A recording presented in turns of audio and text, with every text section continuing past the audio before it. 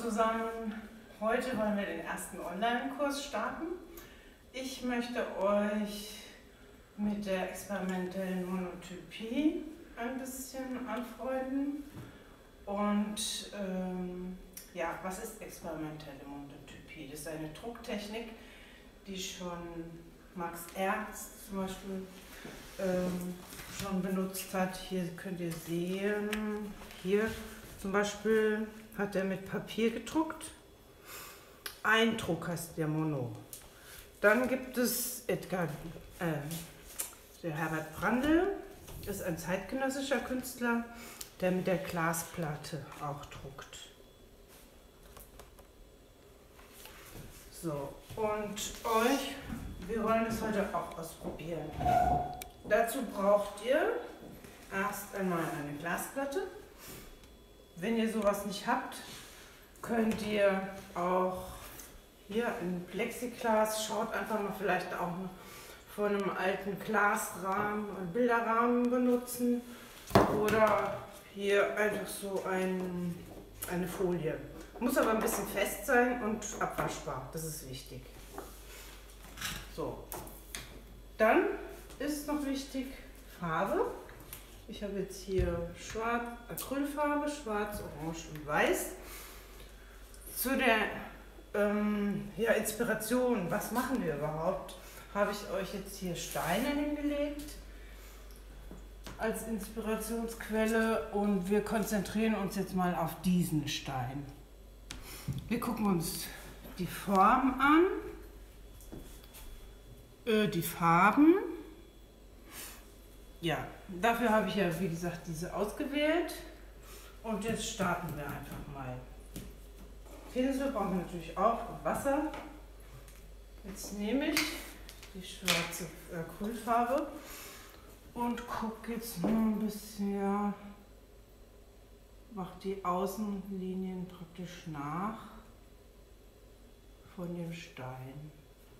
Aber nur so, ja, so ungefähr das ist, ist ja auch nur mehr abstrakte Vorgehensweise, wobei es dann auch natürlich, je nachdem wie ihr es ausarbeitet, ähm, auch realistischer sein kann.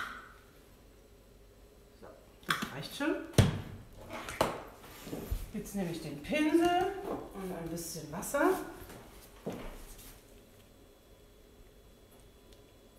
So.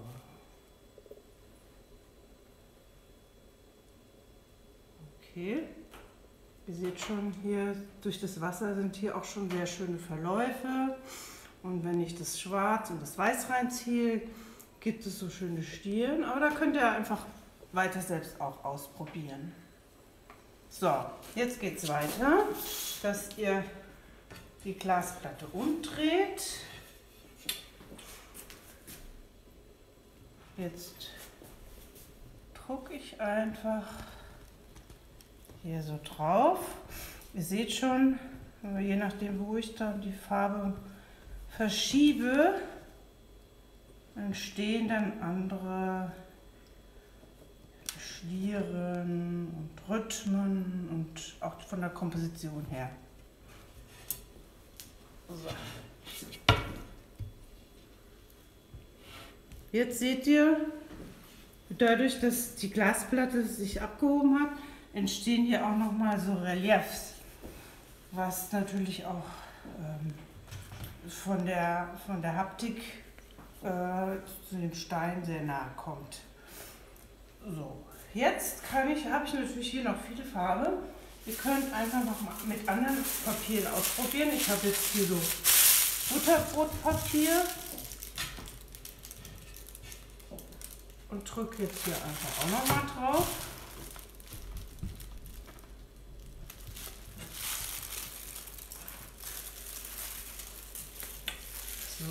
Da entsteht jetzt wieder eine andere Kontur. Oder ich nehme, das ist ähm, Architekturpapier. Das ist jetzt glatt. Und drücke jetzt auch mal.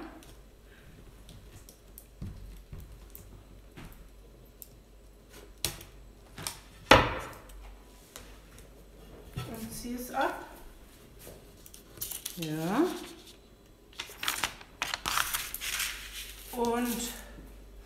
Habe ich einfach noch ein normales Packpapier. Und drücke das auch noch mal drauf.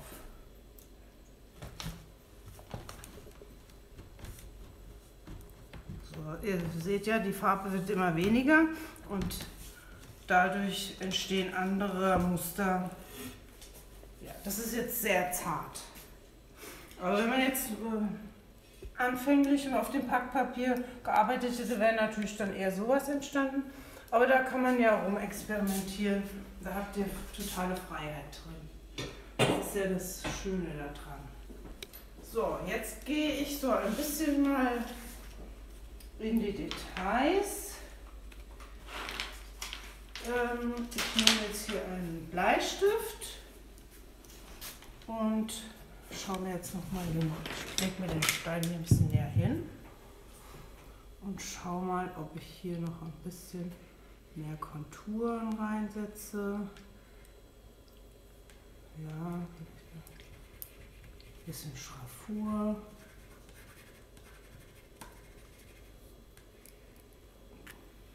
Geht teilweise auch hier rein und zieht es weiter. So. Aber da, das ähm, lasse ich jetzt erstmal weiterhin offen. Das könnt ihr natürlich auch mit diesen Beispielen und diesen Beispielen einfach weiterführen. Mit Bleistift oder auch mit Feinlinern, dass ihr die kleinen ähm, Abdrücke weiterführt.